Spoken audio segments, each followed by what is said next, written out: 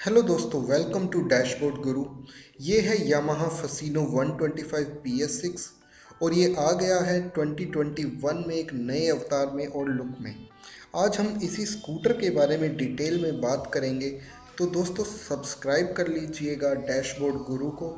अगर आप बाइक और स्कूटर का रिव्यू पसंद करते हो और अगर आप कोई नई बाइक या स्कूटर लेना चाहते हो तो चलिए स्टार्ट करते हैं आज के वीडियो को।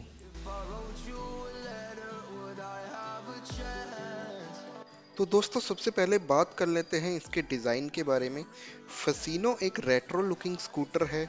ये पहले भी रेट्रो लुक में आता था बट 2021 में कंपनी ने इसमें काफ़ी और बदलाव किए हैं। इसमें आपको सबसे ज़्यादा 12 मैट और ग्लोसी कलर का ऑप्शन मिल जाता है, जिनकी बात हम इस वीडियो में आगे करेंगे। इसके हेडलैम्प की बात करें तो ये एक बीक की तरह दिखता है। और इसके चारों तरफ़ ब्लैक कलर का ग्लोसी प्रोटेक्शन दिया गया है।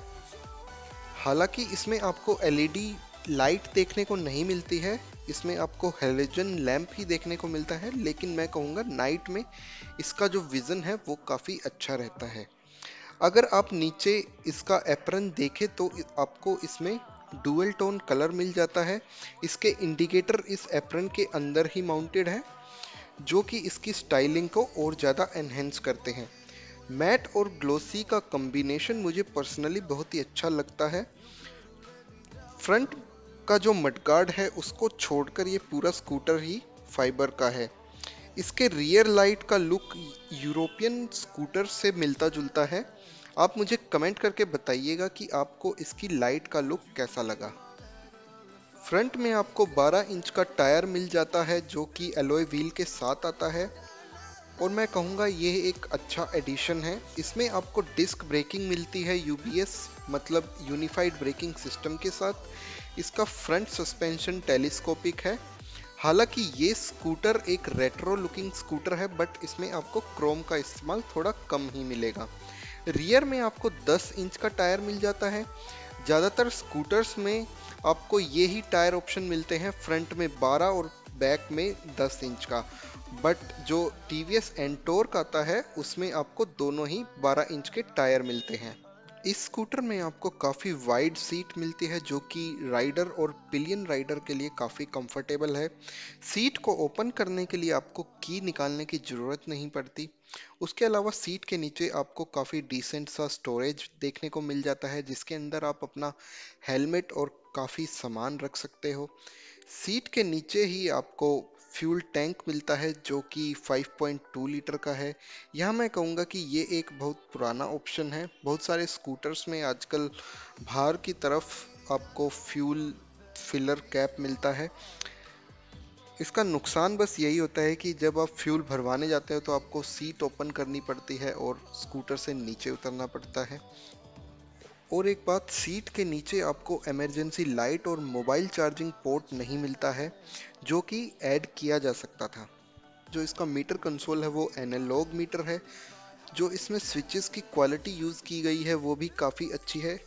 राइट साइड के टॉप में जो बटन आप देख रहे हैं, इसको अगर आप ऑन रखते हो और ट्रैफ़िक में अगर आप फंसे हुए हो तो ये ऑन रहने की वजह से आपका स्कूटर अपने आप ऑफ़ हो जाएगा।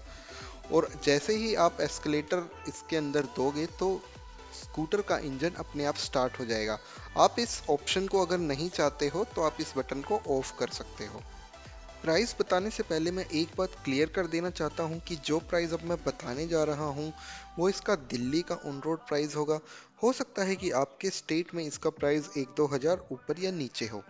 आप मुझे कमेंट करके पूछ सकते हैं कि आपके स्टेट में इसका क्या प्राइस है। इसके मार्केट में चार वेरिएंट आते हैं। ड्रम डीएलएक्स ड्रम डिस्क और डीएलएक्स डिस्क। तो स्टार्ट करते हैं। ड्रम का जो प्राइस है वो 83,872 रुपीज़ है। जो डीएलएक्स ड्रम मॉडल है उसका प्राइस है 84,975 रुपीज़ जो डिस्क मॉडल है उसका प्राइस है 86,630 रुपीज़ जो डीएलएक्स डिस्क मॉडल है उसका प्राइस है 87,000 seven thirty one rupees colour की बात करें तो आपको बारह कलर ऑप्शन मिलते हैं। मार्केट में आपको किसी भी स्कूटर में बारह कलर ऑप्शन नहीं देखने को मिलते हैं। इसमें cyan blue, black, matte blue, suave copper, dark matte blue, black, cyan blue, matte blue, red, yellow, dark matte blue, suave copper. और जो कलर आप देख रहे हैं वो सुवे कॉपर, मैट कलर है, जो कि पर्सनली मुझे बहुत ही अच्छा लगता है। आप मुझे कमेंट करके ज़रूर बताइएगा कि आपको इसका ये वाला कलर कैसा लगता है।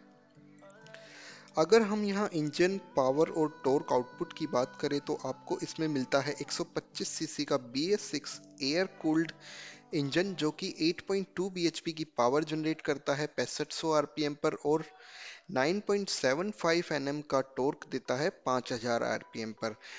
एक और ख़ास बात मैं बताना चाहूँगा कि इसका जो वेट है वो काफ़ी कम है मतलब 99 केजी का ये स्कूटर है, जिसकी वजह से आपको अच्छी परफॉर्मेंस और हैंडलिंग मिलती है। तो दोस्तों, ये था हमारा आज का वीडियो यामाहा फसीनो 125 PS6 पर। अगर आपका कोई भी क्वेश्चन या कमेंट है तो आप हमें बता सकते हैं, मैं उसका तुरंत जवाब दूँगा। और आपसे एक रिक्वेस्ट करना चाहूँगा कि अगर आपको ये वीडियो अच्छी लगी हो तो इसको शेयर लाइक और सब्सक्राइब ज़रूर करें। Thank you